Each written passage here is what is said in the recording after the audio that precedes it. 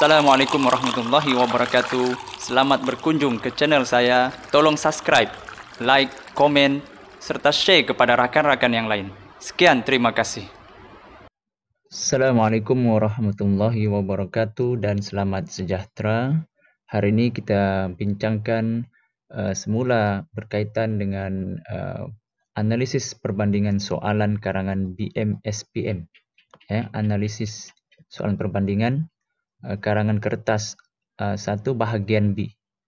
Okey, hari ini kita akan fokus pula ya, dari uh, 2014 hinggalah 2019.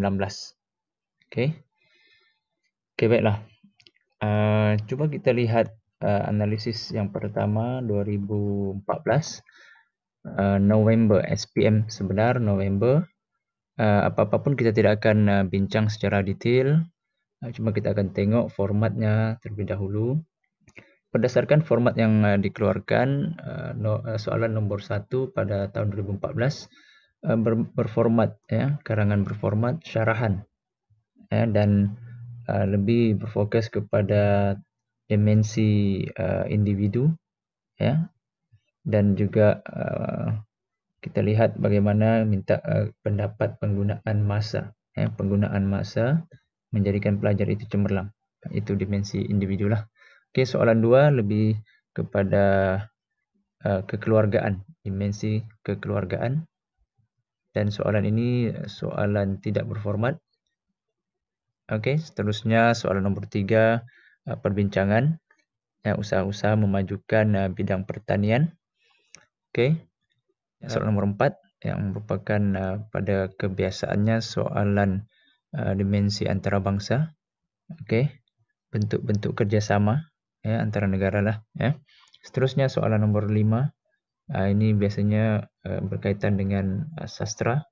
Ya, soalan-soalan yang berkaitan dengan uh, Komsas sastra lah eh okey kita tengok uh, soalan Jun 2015 eh ini soalan Jun ni yang kita katakan se sebelum ini sebagai soalan uh, paper Jun ya ataupun kertas Jun okey baiklah uh, soalan satu uh, dia uh, kehendak soalannya kelebihan kelebihan-kelebihan uh, apabila Uh, lebih daripada satu bahasa. Itu kelebihan dia minta. Ya. Okey, seterusnya soalan nombor dua berbentuk berformat lagi. Ya. Tahun 2015 uh, berformat syarahan. Uh, sebelum ini pun berformat uh, syarahan juga. Okey, tahun lepas syarahan. Uh, seterusnya uh, soalan nombor tiga uraikan bagaimana keindahan alam semula jadi dan keunikan bentuk muka bumi ini dapat dijadikan produk ha, produk ini perbincangan lah eh.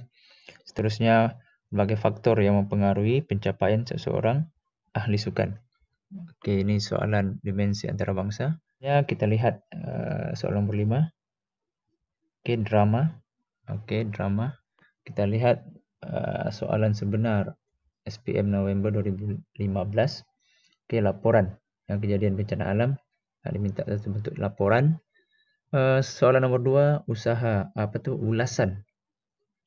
Ulasan aktiviti rekreasi membawa pelbagai uh, manfaat kepada masyarakat beri ulasan anda ya sebenarnya kepentingan mengekalkan budaya warisan kaum untuk soalan nombor tiga dan dimensi antarabangsa usaha-usaha pelbagai pihak mengekalkan uh, keamanan sejagat Okey dan seterusnya soalan uh, Komsas ini yang biasanya uh, jelaskan perkara-perkara yang dapat dijadikan pedoman.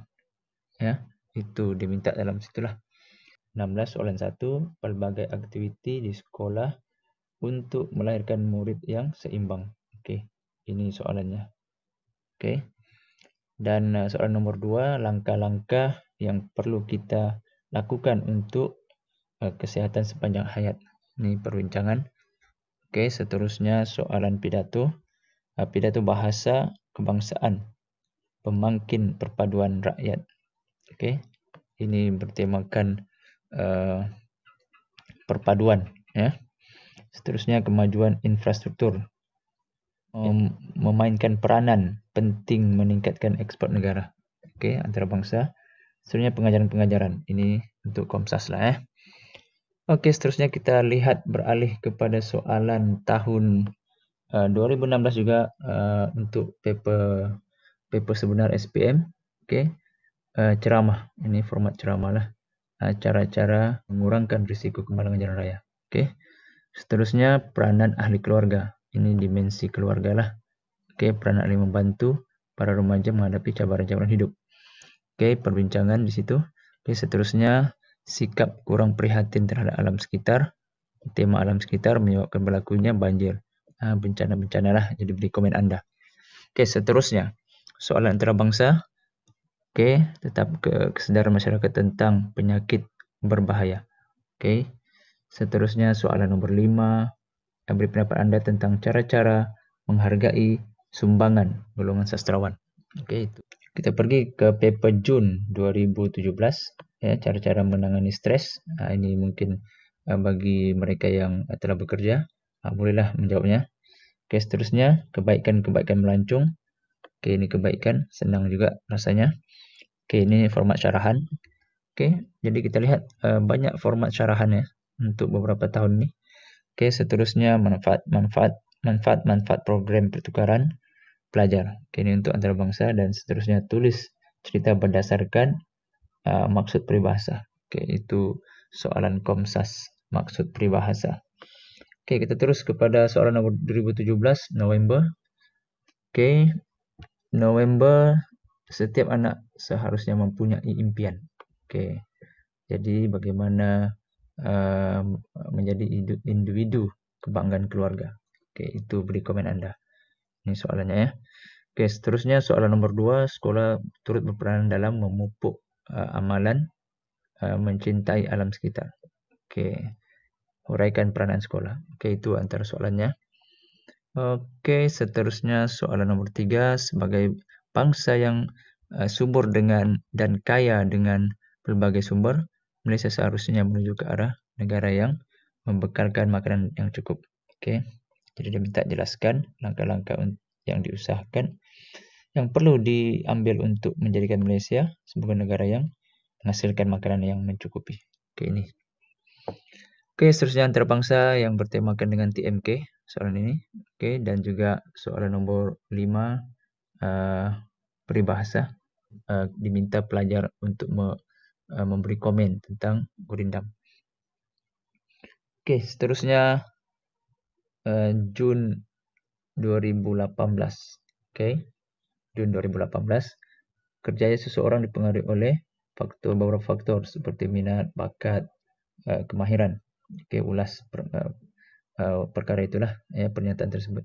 Okey, seterusnya dimensi keluarga lagi setiap ahli keluarga disarankan agar mengamalkan uh, sikap berjimat cermat. Okey, mengamalkan sikap berjimat cermat. Tema berjimat cermat. Lepas itu rencana amalan gaya hidup sehat. Okey, untuk soalan tiga dan soalan uh, dimensi antarabangsa kita lihat keistimewaan-keistimewaan sesebuah negara. Okey dan yang soalan nombor lima berkaitan dengan uh, peribahasa ukur baju di badan sendiri. Okey. Itu sebab sedikit. Dan yang penting juga soalan tahun lepas ya. Kita lihat soalan tahun lepas penglibatan dalam aktiviti co-curriculum. Okey, huraikan faedah-faedah tersebut. Ini senang dia punya huraian ataupun dia punya kehendak soalan amat jelas. Dia minta faedah-faedah. Okey. Seterusnya soalan nombor dua, ibu bapa perlu memupuk sikap saling menghormati antara kaum dalam hubungan dalam kalangan kanak-kanak sejak kecil lagi. Jadi beri penyerta uh, ulaskan pernyataan tersebut. Okey, saya rasa ini pun soalan uh, senang juga. Nah, tetapi saya rasa soalan nombor satu lagi senang bagi pelajar yang yang agak lemah lah. Eh. Nomor tiga, anda akan mengambil bahagian dalam uh, satu pertandingan pidato. Okey, jadi ini pidato lagi lah yang berformatkan pidato. Jadi sukan menggugurkan perpaduan. Okey, bertemakan dengan uh, perpaduan, bertemakan dikaitkan dengan sukan. Okey. Seterusnya Malaysia sentiasa menjalinkan hubungan baik dengan negara luar. Okey, ini tema antarabangsa lagi. Jadi saya minta uh, kepentingan-kepentingan hubungan baik tersebut. Okey. Seterusnya karya sastra seperti novel yang diadaptasi drama, okey, jelaskan. Okey, gitulah. Beri uh, pandangan, uh, jelaskan. Okey, dan soalan yang terakhir yang baru-baru ini untuk paper Julai ataupun paper Jun, uh, paper Jun baru-baru ini 2019. Okey, pelbagai aktiviti boleh dilakukan bersama-sama ahli keluarga. Uh, ini dimensi keluarga lagi ya untuk memupuk hubungan kekeluargaan. Jelaskan aktiviti tersebut. Okey, saya rasa uh, soalan ini agak senang ya. Dia minta jelaskan aktiviti-aktiviti tersebut. Okey. Seterusnya uh, perniagaan secara dalam talian. Uh, ini juga bertemakan ICT lah. Okey. TMK. Okey, jadi bincangkan faktor-faktor yang menyebabkan pelbagai uh, perniagaan tersebut mendapat sambutan. Okey. Nombor tiga, anda akan menyertai satu pertandingan pidato. Okey, so, uh, sekali lagi soalan pidato. Okey, soalan pidato. Dan antarabangsa uh, huraikan bentuk uh, huraikan bentuk-bentuk kerjasama antara negara di dunia bagi menjaga, menjaga alam sekitar. Alam sekitar dan dimensi antarabangsa. Dan terakhir, pembacaan karya sastra seperti novel cerpen dan huraikan faedah-faedah tersebut. Uh, ini biasa soalan-soalan begini, huraikan, huraikan faedah-faedah. Okey. Jadi itu serba sedikit uh, analisis soalan-soalan uh, tahun-tahun lepas. Okey. Sekian, terima kasih. Assalamualaikum warahmatullahi wabarakatuh. Kita teruskan lagi uh, analisis uh, rumusan uh, perbincangan yang kita jalankan tadi, yang kita bincangkan tadi. Okey, antara uh, rumusan yang boleh saya buat, eh, antaranya tema sukan selalu dikeluarkan. Okey, tema sukan selalu dikeluarkan. Ya, kita dengar dari tahun 2014 sampai 2019 uh, adalah yang banyak soalan-soalan sukan sama ada dalam dimensi uh, keluarga, dalam dimensi antarabangsa, masyarakat ada dikeluarkan. Ya. Seterusnya tema perpaduan pun sama juga. Ya. Uh, acap kali dikeluarkan dalam soalan-soalan uh, uh, sebelum-sebelum ini. Ya. Dan seterusnya yang jarang dikeluarkan uh, tema pelancongan jarang dikeluarkan. Ya. Eh, seterusnya pertanian dan perikanan. Ini pun jarang dikeluarkan. Ya, ini berdasarkan uh, pada tahun 2014 hingga 2019 lah ya. Okey, seterusnya uh, tema gaya hidup sehat. Ini pun jarang dikeluarkan. Ya. Jarang dikeluarkan. Uh, keenam rumusan saya, tema keselamatan jalan raya pun jarang dikeluarkan. Ya. Dan yang tidak pernah dari tahun 2014 yang kita lihat tadi, uh, amalan membaca tidak pernah dikeluarkan dan juga nomor 8 tema amalan menabung tidak pernah dikeluarkan. Cuma yang ada sedikit kaitan dengan uh, amalan berjimat cermat uh, ada ada dikeluarkanlah ya. Okey, jadi itu serba sedikit rumusan analisis perbandingan soalan-soalan karangan bahagian B uh, daripada saya. Ya. Jadi kalau ada apa-apa yang berkaitan, saya minta maaf. Kalau saya rasa ada pandangan saya yang kurang tepat ataupun tidak dipersetujui, saya minta maaf. Ah, ini sekadar pandangan sahaja. Jadi, um, secara keseluruhannya, ke-8-8 uh, tema ini uh, kita perlu tekankan. Ya, kita perlu tekankan. Yang selalu keluar, yang jarang keluar, dan yang tidak pernah keluar. Ya, kita perlu tekankan. Ya, soalan-soalan berbentuk begini.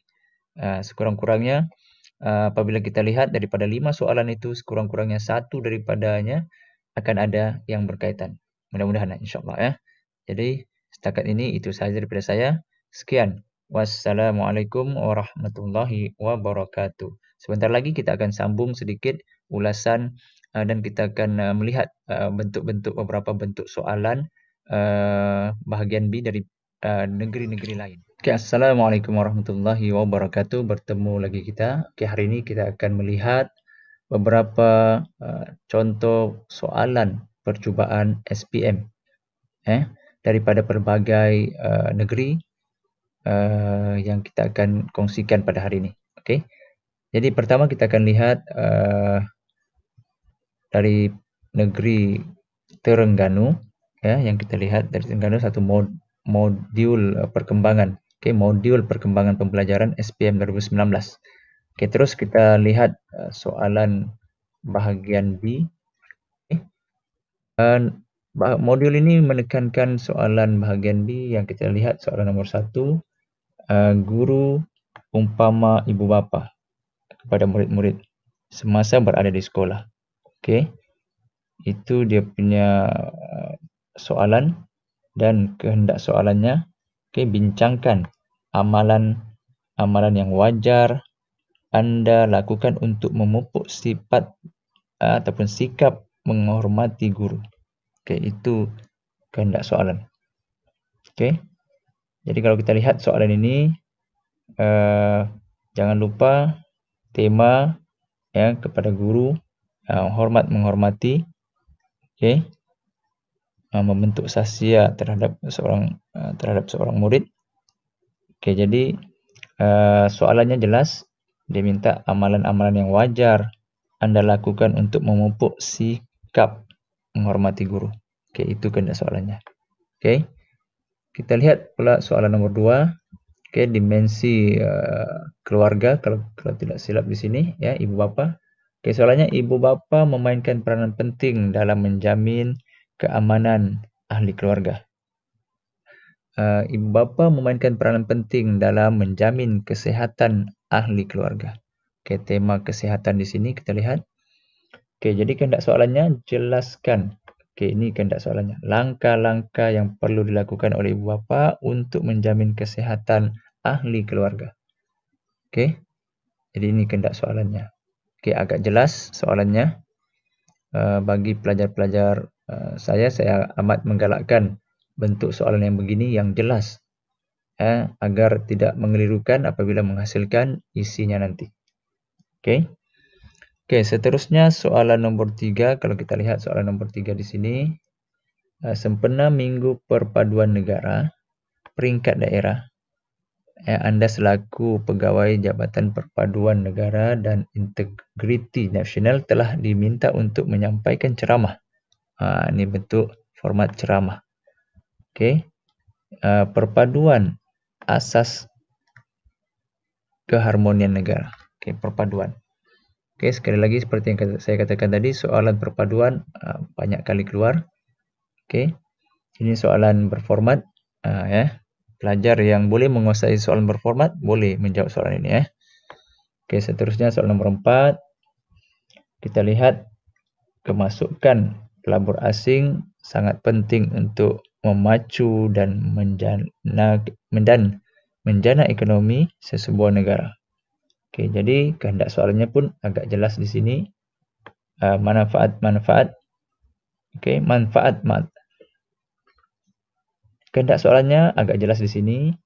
Ya, dia minta uh, manfaat-manfaat kepada sesebuah negara dengan kemasukan pelabur pelabur asing tersebut. Okey, itu agak jelas. Ya, arasnya agak tinggilah sedikit pelajar-pelajar saya ni yang kelas belakang ni agak susah menjawab soalan-soalan begini. Dan saya juga tidak mencadangkan untuk mereka menjawab soalan-soalan yang beginilah. Okey. Okey, seterusnya. Peribahasa. Soalan nombor lima, peribahasa. Okey, sehari selembar benang, lama-lama menjadi kain. Okey, jadi uh, diminta buat satu cerita berdasarkan maksud peribahasa tersebut. Okey. Ini juga saya tidak berapa menggalakkan pelajar saya untuk menjawab soalan-soalan nombor lima. Ya. Dan saya lebih mengesyorkan uh, pelajar saya jawab soalan-soalan nombor satu, dua dan tiga. Dan kita lihat soalan nombor satu dan dua sini yang jelas soalannya itu yang paling saya galakkan. Ya, sebab bagi pelajar-pelajar uh, kelas uh, pertengahan dan ke belakang ini, kadang mereka keliru tentang kehendak soalan. Apakah kehendak soalan? Eh, soalan nombor tiga jelas dia punya uh, kehendak soalan juga, tetapi dia berbentuk berformat. Uh, bagi pelajar yang tidak menguasai format, saya tidak galakkan untuk menjawab soalan begini. Ya, jadi itu sedikit untuk soalan uh, dari Terengganu. Dan yang terakhir kita lihat pula uh, soalan dari uh, negeri dari negeri Pulau Pinang. Okey, soalan dari negeri Pulau Pinang. Soalan bahagian B kita lihat ya Penggunaan internet. Okey, nombor satu, penggunaan internet dianggap sebagai satu gaya hidup para remaja pada masa ini. Bincangkan kebaikan dan keburukan penggunaan internet uh, kepada anda. Okey, jadi ini dimensi diri sendirilah. Okey dan bertemakan internet ya. Jadi apabila kita dengar soalan ini uh, bagi pelajar uh, kelas saya saya rasa mereka boleh terus cari dia punya kehendak soalan ataupun tugasan iaitu uh, berkaitan dengan kebaikan ya kebaikan dan keburukan penggunaan internet kepada diri anda. Okey ini bagi saya pelajar kelas saya uh, saya galakkan menjawab soalan macam ini sebab kehendak soalannya jelas dan temanya pun uh, berkisar dengan pelajar itu sendiri ya. Okey seterusnya soalan nombor dua kekuatan dan uh, perpaduan dalam kalangan komuniti setempat se uh, sangat penting. Okey jadi jelaskan kepentingan hidup berjiran. Okey ini pun soalan yang jelas. Kehendak soalannya jelas. Okey, dia minta kepentingan hidup berjiran. Ya. Ha, cuma kemungkinan untuk para pelajar mengeluarkan isi ha, itu uh, agak uh, mengelirukan bagi pelajar. Terutamanya pelajar uh, belakang ini ya, yang lemah. Ha, tetapi dari segi kehendak soalan jelas. Okey, jelas. Okey, seterusnya uh, soalan nombor tiga. Isu kemalangan jalan raya sering menjadi fokus perbincangan dalam kalangan masyarakat. Ya, okay, jadi dia punya kehendak soalan langkah-langkah ya dia minta langkah-langkah untuk mengatasi masalah kemalangan jalan raya di negara kita. Ini pun soalannya saya rasa cukup senang ya dan temanya cukup jelas ya. Dia minta uh, kemalangan jalan raya ya. dia punya kehendak soalan cukup jelas. Ya, kehendak soalannya cukup jelas iaitu langkah-langkah untuk mengatasi masalah kemalangan jalan raya. Ya. Uh, bagi pelajar saya kemungkinan soalan ini uh, mereka ramai jawablah. Sebab pelajar saya ni uh, agak belakang sedikit jadi mereka saya galakkan soalan-soalan yang uh, senang dari segi mencari kata kuncinya. Ya. Dan soalan nomor empat. Okay, pergolakan dalam peperangan yang berlaku telah menyebabkan rakyat menjadi mangsa dalam sesebuah negara. Okey, itu pernyataannya. Dan ulaskan kepentingan, okey ini dia punya kehendak soalan. Kepentingan kepentingan bantuan kemanusiaan terhadap negara yang terlibat. Okey, ini kehendak soalannya. Dia minta kepentingan bantuan ya kemanusiaan. Okey, jadi bagi pelajar saya pun soalan ini agak susah sedikit. Ya. Okey, jadi agak susah dan dimensi antara bangsa. Okey. Dan seterusnya soal nombor lima.